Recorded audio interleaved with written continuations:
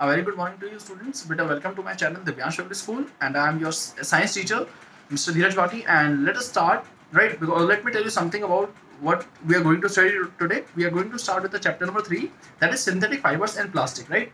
As you know beta ये जो COVID-19 का period है it is really very serious and it is very really very dangerous. So uh, keeping all these things in mind that uh, whatever the situation is going on within our country I have brought you my channel, Divyansh Public School, wherein I will be sending you such videos for your daily help and for your daily studies, right? Today, as you know, we are going to start with the science of class 8, chapter number 3, synthetic fibers and plastic, right? So, let us start with the first line. So, हम अपना first line की start करते हैं the cloth which we wear are made of fibres मतलब जो हम कपड़े पहनते हैं बेटा वो कुछ भी फाइबर्स के जैसे मैंने शर्ट पहना कि ये कॉटन फाइबर की फाइबर मतलब मटेरियल की बनी होती है fabrics are made from fibres obtained from natural और आर्टिफिशियल आर्टिफिशियल सोर्सेज क्या मतलब फैब्रिक जो होते हैं बेटा, वो हमें फाइबर से बनाए जाते हैं। और ये फाइबर्स बेटा जनरली टू टाइप्स के होते हैं। एक होता है नेचुरल एक होता है आर्टिफिशियल आगे बढ़ते हैं। Can you name some natural fibres क्या हम बेटा कुछ नेचुरल फाइबर्स का नाम ले? तो फॉर एग्ज़ाम्पल हमारे पास हो गए कॉटन वूल ये सारे नेचुरल फाइबर्स होते हैं। Fibres are also used for making a large variety of household article के फाइबर्स को बेटा हम इस फाइबर्स को हम बहुत सारे हाउस होल्ड आर्टिकल्स मतलब घर के सामान बनाने में भी हम बहुत सारे फाइबर्स का यूज़ करते हैं। फॉर एग्ज़ाम्पल पॉलिथिन बैग्स हो गए, हमारे पास जूट बैग्स हो गए राइट ये सारे हमारे हाउस होल्ड आर्टिकल्स होते हैं जो हम अपने इन फैब्रिक्स की मदद से बनाते हैं। Make a list of some common articles made from fibres अब हमें बेटा एक लिस्ट बनानी है जिसमें हम उन सभी फाइबर्स का नाम लिखेंगे जो हम बेटा, जो उन सभी कॉमन आर्टिकल्स का नाम लिखेंगे जो हमारे डिफरेंट आर्टिकल से ऑप्टेन होते हैं डिफरेंट फाइबर्स ऑप्टेन होते हैं। Try to separate them into those made from natural fibres and those from artificial fibres और इसको बेटा हमने जब हम लिस्ट बनाएँगे तो उसका हमें ये ध्यान रखना है कि हम उसको नेचुरल फाइबर्स को अलग और मैनमेड फाइबर्स को अलग लिस्ट में नाम दे। Make entries in table 3.1 table 3.1 आपके सामने है बेटा। It is given on page number 32 आप उसमें से देख सकते हैं। राइट? यहाँ पे serial number name of article types of fibres वो आपको, ये मैं आपको होमवर्क छोड़ देता हूँ। राइट नेम ऑफ़ आर्टिकल और टाइप ऑफ़ फाइबर्स ये आपका होमवर्क है that you are suppose to do why do you label some fibres as artificial अब यहाँ पर बेटा एक इंपॉर्टेंट क्वेश्चन रेज होता है, वो हमारे सामने जो की है कि क्यों हम कुछ क्यों हम कुछ फाइबर्स को आर्टिफिशियल बोलते हैं? You have read in you previous classes that natural fibres like cotton wool silk etcetera और obtained from plants and animals हमने बेटा लास्ट ईयर की क्लासेस में, यहाँ पे लास्ट चैप्टर लास्ट चैप्टर्स में हमने ये पढ़ा था कि कुछ फाइबर्स होते हैं, जैसे कॉटन हो गया वूल हो गया सिल्क हो गया, ये हमें प्लांट्स और एनिमल से ऑप्टेन होते हैं।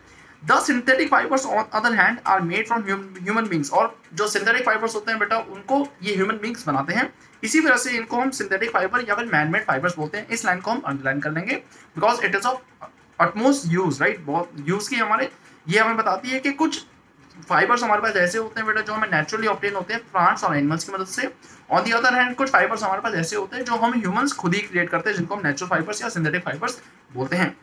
Coming on to the right hand side of the page of page of thirty two what are synthetic fibres अब हम सिंथेटिक फाइबर्स के बारे में जानने वाले हैं कि सिंथेटिक फाइबर्स आखिर होते क्या हैं। Try to recall the uniform pattern found in a necklace of beads joint with the help of a thread कि जब हम बेटा एक नेकलेस की बात करते हैं, जो आप बेटा फिगर 3.1 के ए पार्ट में अगर आप देखोगे, इसके अगर बेटा हम यूनिफॉर्म पैटर्न की, इसमें अगर हम नेकलेस की बात करें तो अगर हम नेकलेस देखोगे, जो बेटा हम गले में डालते हैं राइट उसमें एक यूनिफॉर्म मतलब इक्वल पैटर्न होता है, जो एक नेकलेस में होता है। कि मतलब बहुत सारी बीड्स होती हैं, जो एक यूनिफॉर्म शेप में फिक्स शेप में उसको हम बाँध देते हैं और वो उस फिक्स शेप को फॉलो करते हैं। फिगर 3.1 ए जैसे आपके सामने लिखा है। और try to join a number of paper clips together to make a long chain और ऐसे ही बेटा अगर हम 3.1 फिगर बी में देखें तो अगर हम बेटा बहुत सारी पेपर क्लिप्स को हमने एक शेप दे दी, एक एक एक करके ज्वाइन कर दिया तो उनकी एक प्रॉपर शेप आ जाएगी। This there are many similarities between the two अब जो हमसे सवाल करा जा रहा है, वो करा जा रहा है, वो बहुत इंपॉर्टेंट है। पूछा जा रहा है कि क्या इस, इन दोनों में कुछ सिमिलैरिटीज हैं? Let see A synthetic fiber is also a chain of small units joined together.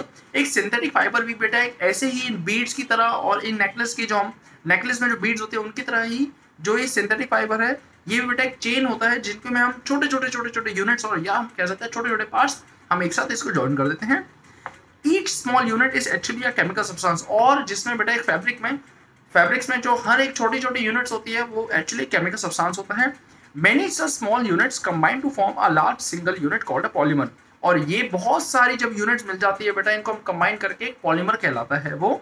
अभी जो पॉलीमर है बेटा it is obtained from it is a Greek word ये ग्रीक से लिया ग्रीक लैंग्वेज से लिया हुआ वर्ड है, जिसका जो कि जिसमें टू वर्ड्स होते हैं। एक होता है पॉली एक होता है मर पॉली मीन्स मैनी मतलब मैनी मैनी मतलब बहुत सारे।